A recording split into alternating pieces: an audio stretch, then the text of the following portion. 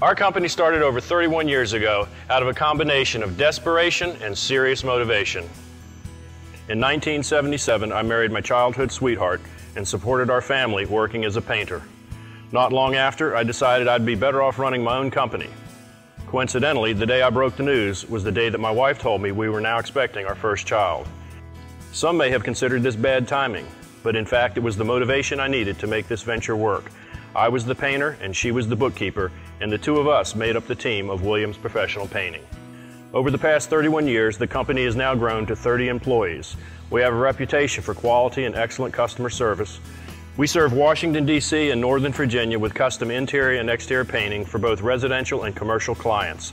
We also specialize in carpentry and offer sanding and staining services, wood rot repair, design consultations, and drywall and plaster repair.